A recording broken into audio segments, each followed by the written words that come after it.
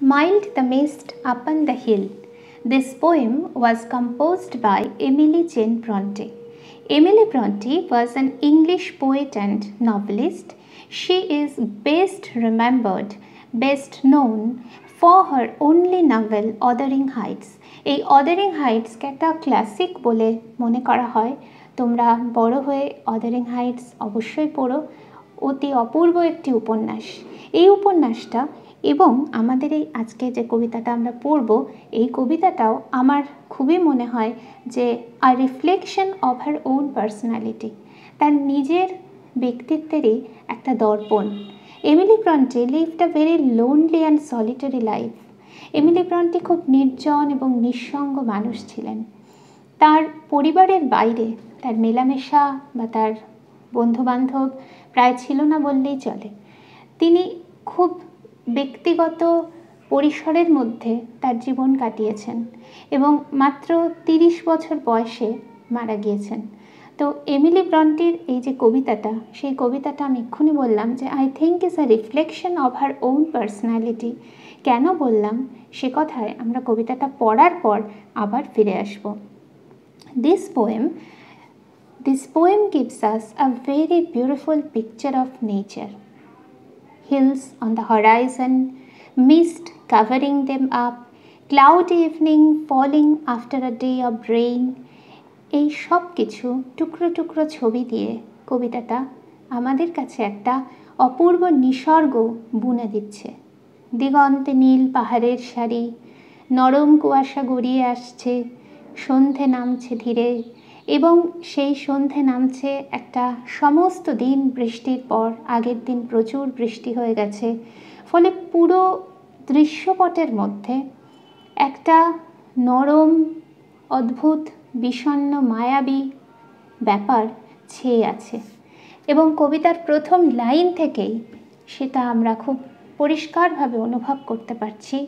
In fact words I think words in this poem roll down just like those mild mist নরম কুয়াশার মতো কবিতার শব্দগুলোও যেন গড়িয়ে আসছে। আমরা হয়তো পাহাড়ের বাসিন্দা নই বলেই এবং পাহাড়ে সবাই বেড়াতে যেতেও পারিনি বলে সবাই পাহাড় চোখের সামনে দেখিনি, অনেকেই দেখেছি। কিন্তু আমরা পাহাড় দেখে না থাকলেও এই রকম লোনলি উইন্ট্রি ইভিনিং শীতের নির্জন সন্ধ্যা বা মিষ্টি উইন্টার মর্নিং কুয়াশা আবৃত শীতের সকাল, সেই অভিজ্ঞতা আমাদের সবারই আছে। ওই যে নির্জন মুহূর্তের একটা মানুষের অভিজ্ঞতা, সেই অভিজ্ঞতার সঙ্গে এমিলি ব্রন্টির এই কবিতাটা মেলে কিনা আমরা পড়তে পড়তে বোঝার চেষ্টা করব। কবিতাটা এইভাবে শুরু হচ্ছে।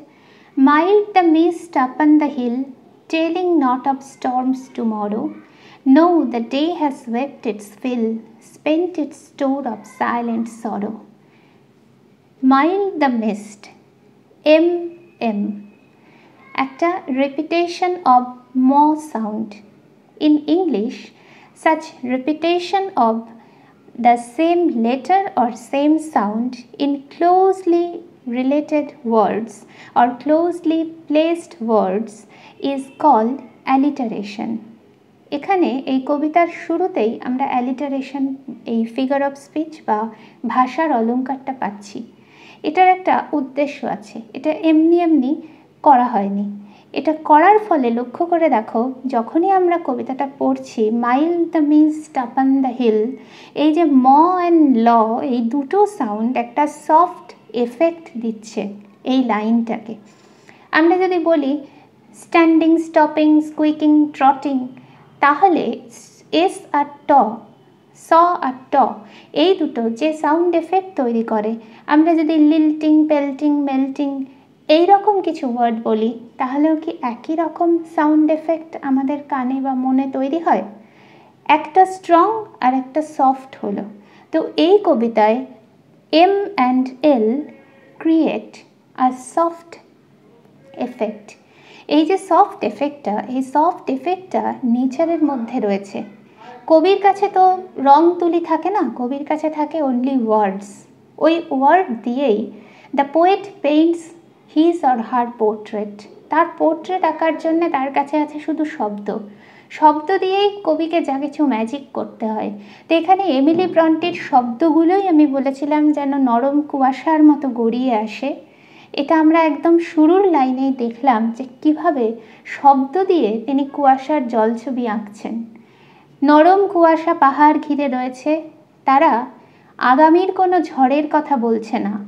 তার কারণ that day has wept its fill দিনের বুকে যতটা কান্না জমা হয়েছিল it spent its store of silent sorrow লক্ষ্য করে দেখো, যতটা কান্না জমা হয়েছিল তার সবটুকু দিনটা ফুরিয়ে ফেলেছে। কীভাবে পুড়িয়ে ফেলেছে? একটা দিনের কান্না বলে কবি কি বোঝাতে চাইলেন আমরা সবাই বুঝলাম নাথিং বাট রেইন বৃষ্টি। কিন্তু তার সঙ্গে উনি আর একটা কথা জুড়লেন, সেটা হচ্ছে সাইলেন্ট সরো অর্থাৎ এই যে এক্সপ্রেশন অফ সরো এই যে দুঃখের প্রকাশ, তার মধ্যে প্রকটতা নেই, তার মধ্যে কোনো তীব্রতা তীব্রতা আছে, কিন্তু তার প্রকাশটা খুব নরম এবং বিষণ্ন এবং নির্জন। আমি বলেছিলাম যে এই কবিতা আমার মনে হয়েছে reflection of her own personality তিনি যেমন লোনলি এবং সলিটারি মানুষ ছিলেন, সেরকম মানুষের এক্সপ্রেশন অফ সরো সেটাও সাইলেন্ট হয়। সেটাও তার চরিত্রের সঙ্গে মানানসই হয়। সেরকম মানুষ তার দুঃখের কথা, তার একাকিত্বের যন্ত্রণা, সেগুলোকে হাউমাউ করে চেঁচিয়ে প্রকাশ করতে পারে না। তার নিজের অন্তরটিও ওই রকমই নরম কুয়াশার মতো। তারই একটা প্রতিচ্ছবি বাইরের সঙ্গে মিলে যাচ্ছে। প্রথম স্তবকটা বা ফার্স্ট আনসারটা gives us a description of nature what the poet Perhaps can see from the window or from a room of her house. Now comes the second stanza. Oh, I am gone back to the days of youth. So, uh, the very opening line of the second stanza takes us back to her days of youth. এখন কবি তো মারাই দিয়েছেন মাত্র তিরিশ বছর বয়সে এখানে ইয়থ বলে তার চাইল্ডহুড ডেজকেই বলা হচ্ছে। অনেক দিন আগের ফেলে আসে শৈশবকে। এবং পরের লাইনেই সেটা নিশ্চিত করে বলে দেওয়া হচ্ছে, স্পষ্ট করে দেওয়া হচ্ছে। I am a child once more and neath my father's sheltering roof and near the old hall door প্রথমে কবিতাটা শুরু হয়েছিল প্রেজেন্ট মোমেন্টে সেকেন্ড স্টান্সায় কবিতাটা ফিরে যাচ্ছে পাস্ট মোমেন্টসে বাইগান ডেজে এই যে পিছনে ফিরে যাওয়া, এই যে একটা মানুষের মনের উইশ বা ডিজায়ার টু লুক ব্যাক একে ইংরেজিতে বলে নস্টালজিয়া নস্টালজিয়ার দ্বারা আবিষ্ট হওয়া, সেইটাকে বলা হয় নস্টালজিক হওয়া। তো এই কবিতায় আমরা দেখছি যে এমিলি ব্রন্টি নস্টালজিক হচ্ছেন। নস্টালজিক হচ্ছেন ফর হার চাইল্ডহুড ডেজ আমি আবার ফিরে যাচ্ছি সেখানে and neath my father's sheltering roof roof সেটা শেল্টারিং তার আগে ফাদার্স এখানে তার মানে এই যে শেল্টারিং শব্দটা, it gives not only a physical shelter but also a mental shelter একটা ছাদ আমাদের দুভাবে নিরাপত্তা দেয়। একটা শারীরিক নিরাপত্তা, একটা ছাদ ঘেরা জায়গায় যদি আমরা থাকি বাইরে থেকে আমাদের কেউ এসে হঠাৎ করে অ্যাটাক করতে পারে না। সে ঝড়, বৃষ্টি, বন্যাই হোক বা দুষ্টু লোকই হোক, একই সঙ্গে আমরা শারীরিক নিরাপত্তার পাশাপাশি আরেকটা নিরাপত্তাও চাই, সেটা মানসিক নিরাপত্তা।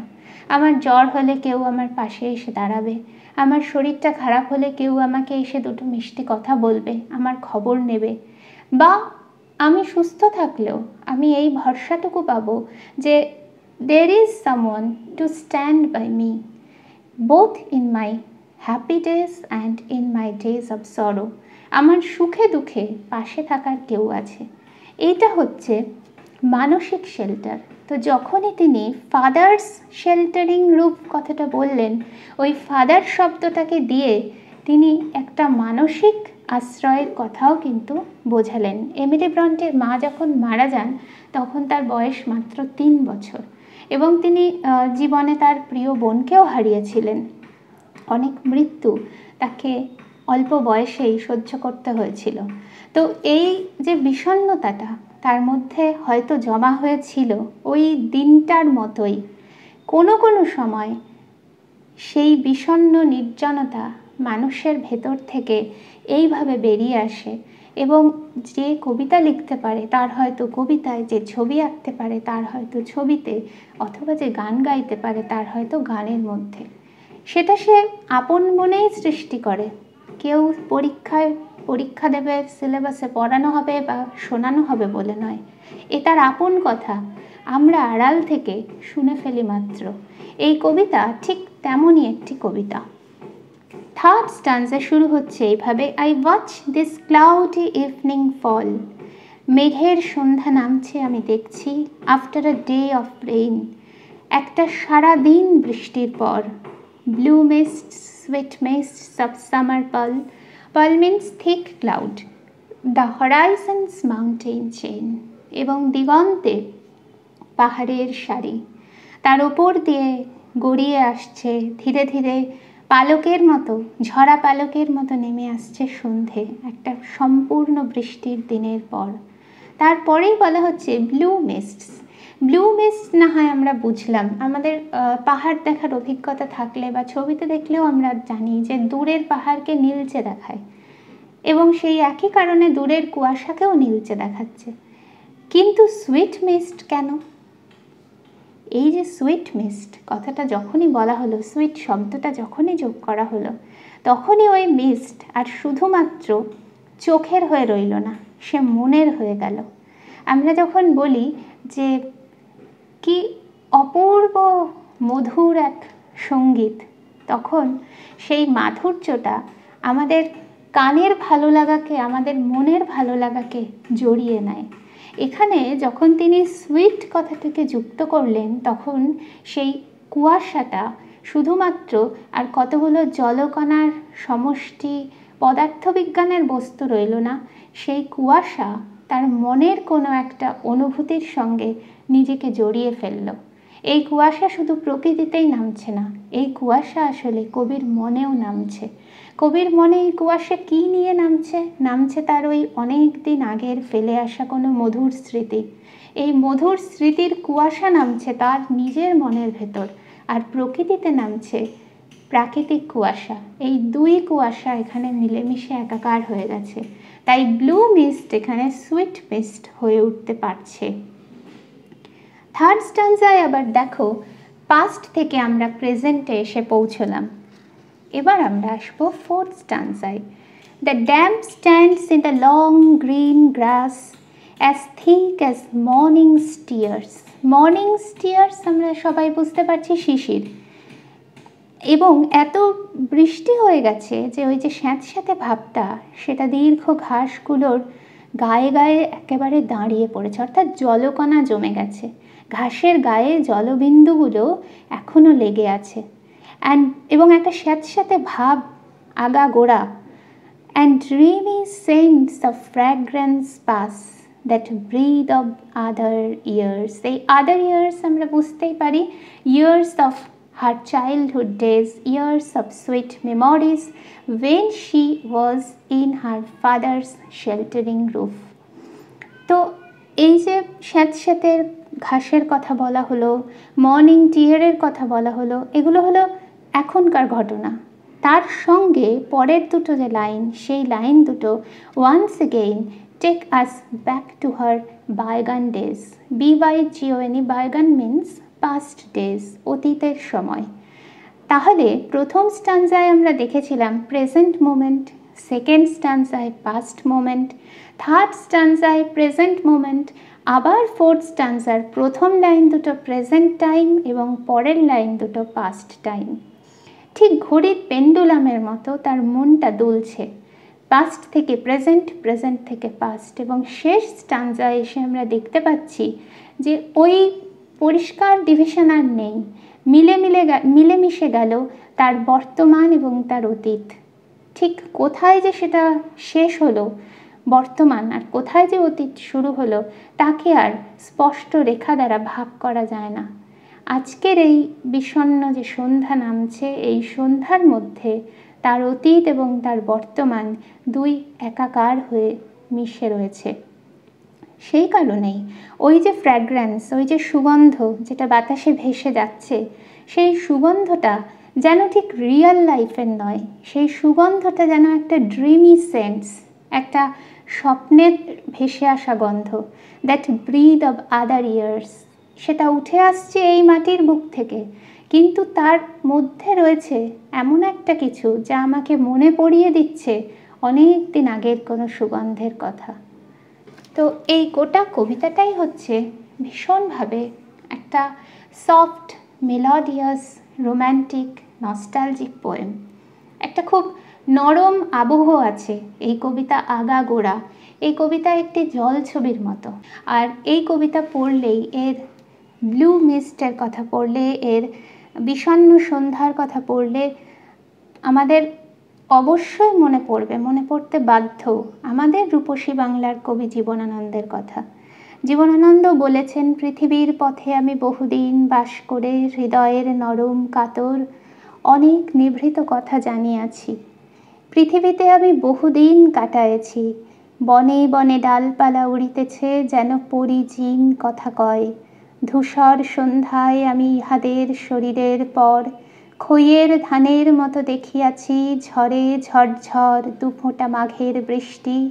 সাদা ধুলো জলে ভিজে হয়েছে মলিন। ম্লান গন্ধ মাঠে খেতে গুবরে পোকার তুচ্ছ বুক থেকে ক্ষীণ, অস্পষ্ট করুণ শব্দ ডুবিতেছে অন্ধকারে নদীর ভিতর। জীবনানন্দ এরকম নির্জন এবং বিষণ্ন মনের মানুষ ছিলেন তো? এমিলি ব্রন্টির এই কবিতা পড়ে তার কথা খুবই মনে হয় এবং কবিতার শুরুতে আমি যেটা বলেছিলাম যে this poem is a reflection of her own personality সেই কথায় আরেকবার ফিরে আসি। কেন এটা বলেছিলাম? ইতিমধ্যে কবিতা পড়তে পড়তে আমরা বুঝেইছি, তাও আরেকবার আমরা সেটা অনুভব করার চেষ্টা করি। আসলে কোনো দৃশ্যের মধ্যেই গল্প থাকে না। গল্প থাকে মানুষের মনের মধ্যে এবং যার মন যেরকম, তার গল্প সেরকম। দেখবে একটা প্রকাণ্ড ধান খেতে বৃষ্টির পর যখন জল জমে থাকে, ধরো ধান কেটে নেওয়া ধান মাঠ, সেখানে জল যেখানে যেখানে জমে, তার ওপরে আকাশের ছায়া দেখতে পাওয়া যায়। যদি পরিষ্কার আকাশ হয় বা মেঘলা আকাশ হলেও। তো এই যে ছায়াটা, সেই ছায়াটা সর্বত্র সমান হয় না। ছায়াটা কীরকম হয়? ধান ক্ষেতের কোথাও হয়তো কিছুটা বাদামি রং লেগেছিল। কোথাও হয়তো মাঠ ছিল পরিষ্কার। কোথাও হয়তো কিছু সবুজ ছিল। এসবের ওপরেই জল জমেছে। যেখানে জল যেমন সেখানে তার উপরে আকাশের ছায়া তেমন, যার আরশি যেমন, তার প্রতিবিম্ব তেমন। একই বৃষ্টির দৃশ্য দেখে কারুর খুব মন খারাপ হতে পারে, একই বৃষ্টির দৃশ্য দেখে কারুর হৃদয় ময়ূরের মতো নাচতে পারে। এই যে বৃষ্টির দৃশ্য, এই দৃশ্য কার মনে বিষণ্নতার চিঠি লিখে দেবে আর কার মনে আনন্দের ফানুস ওড়াবে উচ্ছলতার ফানুস ওড়াবে সেটা নির্ভর করে দৃশ্যের ওপর নয়, সেটা নির্ভর করে মনের ওপর। রবি ঠাকুর বলেছেন না, আমারই চেতনার রঙে পান্না হলো সবুজ, চুনি হলো রাঙা, গোলাপের দিকে চেয়ে বললুম সুন্দর সুন্দর হলো সে। তো আমরা যে দৃশ্যটাকে দেখি, সেই দৃশ্যটার গায়ে আমাদের মনের ছায়া পড়ে। আর মনের ছায়াটি যেমন হয়, ছবিটি তেমন হয়। আসলে আমরা নিজেকেই দেখতে পাই আমাদের চারপাশের নিসর্গের মধ্যে, বিরাট প্রকৃতির মধ্যে এবং অপূর্ব সৌন্দর্যের মধ্যে। সেখানে গিয়ে দাঁড়ালে মানুষের এই কারণেই ভালো লাগে যে তখন মানুষ তার চারপাশের কোলাহল মুছে ফেলে প্রকৃতির মুখোমুখি দাঁড়ানোর মধ্য দিয়ে আসলে সে নিজের মুখোমুখি দাঁড়ায়। তো এমিলি ব্রন্টি এই কবিতাটা আমরা সিলেবাসে ক্লাস নাইনে পড়ব এবং পরীক্ষা দেব বলে লেখেননি। এমিলি ব্রন্টি এই কবিতাটা লিখেছিলেন নিজের সঙ্গে নিজে কথা বলতে বলতে। এই কবিতা একটা ডায়েরি বা চিঠির মতো, যেটা নিজেকে নিজে লেখা। এই নিজেকে নিজে লেখা যে কথাগুলো, সেগুলো একদিন হয়তো সবার হয়ে যায়। আর সবার হয়ে যায় এই কারণেই যে আমাদের সকলের মনের মধ্যে এই রকম কুয়াশা গড়িয়ে আসা, মেঘ নেমে আসা বিষণ্ন সন্ধ্যার টুকরো থাকে। আমরা সবাই কবি নই, তাই আমরা ভাষা খুঁজে পাই না এভাবে ব্যক্ত করার। কোনো একজন কবি এসে আমাদেরকে দেখিয়ে দেন, তোমারও মনের মধ্যে এমন একটি জানলা আছে তুমিও সেই জানলা দিয়ে অনেক দূরের দিগন্তের পাহাড়ের গায়ে মেঘ নেমে আসা সন্ধে এমনভাবে নিজেকে কখনো কখনো খুঁজে পাও। এই খুঁজে পাওয়ার কবিতা হচ্ছে mile the mist, upon the hill. তাহলে তোমরা আবার কবিতাটা সবাই পড়বে। পড়ে এই কবিতার মধ্যে কীভাবে এমিলি ব্রন্টি একটা ছবি এঁকেছেন, সেই ছবিটা নিজের মনে অনুভব করার চেষ্টা করবে। তারপর আমরা কবিতার প্রশ্ন উত্তরের আলোচনাতে যাব।